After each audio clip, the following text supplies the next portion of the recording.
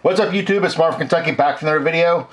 Uh, this can be a little quick video, a little quick pickup video. Show some cards I've been picking up over the last mm, month, month and a half. Uh, some of these cards, uh, I can't even remember what I gave for some of them, but um, got these off of, uh, most of them off of eBay. Um, first cards I want to show you uh, is these pretty cool Ohtani rookie cards. These came out of the Angels team set. So about two Angels team sets, the 2018 uh, Angels team sets. Uh, they were $9 a set, uh, $8.99 actually, and they shipped for free. But uh, I bought two of these because it's, uh, I don't know how rare, rare, this rookie card is, but it's a pretty cool shot of Ohtani batting. Uh, I got two of these things.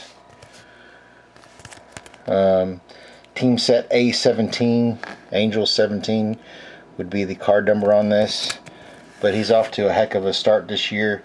And this is these are the first Ohtani rookie cards that I've actually purchased.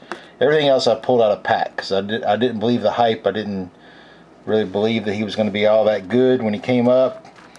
Um, and so far this year he's proven me wrong.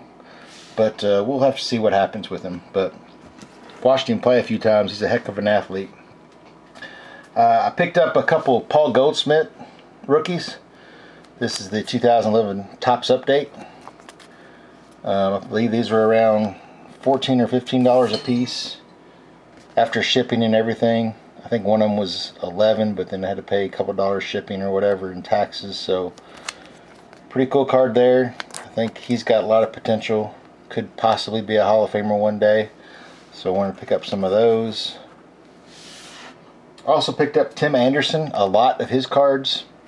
Um, in the lot, I got this one and some prospect cards slash rookie cards and uh, some binder cards of his. But he's solid, man. What's he won? Two batting titles, something like that.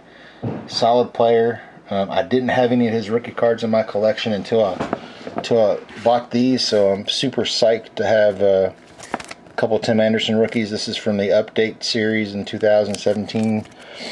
Um, so psyched to have that card. Uh, along with that card, I think I, I, bought a lot for like 12 bucks. It had his rookie card. It had these cards, the 2000, what is that? Is that a 13 Bowman? 14 Bowman, I guess. Um, and then, that's actually this, that's a 13, I think. That's a 14 Bowman. And then that's a 15 Bowman. Um, so, super psyched to get some Tim Anderson rookie cards. Heck of a player. And then also picked up his Heritage rookie card. I think this ran me like seven bucks. But a heck of a player. I had to have some of his rookies in my collection. A guy that is uh, very underrated. Picked up both of these for like eight bucks, I believe, is what I paid for these. These are 2014 Bowman Chrome Jose Abreu. This guy, of course, he was MVP last year, and he's having a heck of a year this year. Also, RBI machine. Really like him a lot. Both of those cards. Like I said, I think they ran a total like eight bucks with shipping and everything. So couldn't beat that these Bowman Chrome rookie cards are are actually uh, rising in popularity. A lot of people like these uh, these Bowman Chrome rookie cards.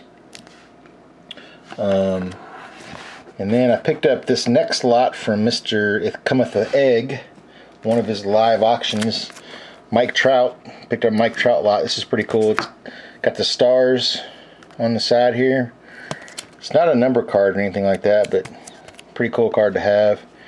And I got this shiny Mike Trout here, the sparkle in it. Check that out. I think all these ran me 25 bucks. There's a Diamond Kings. There's an Elite Donruss.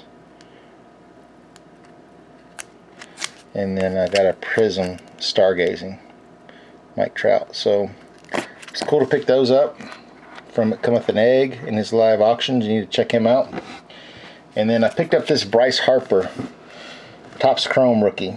Uh, when I picked this up, he was actually tearing it up. He was he was uh, I think he had around seven or eight home runs. I think he was leading the league at that time, something like that.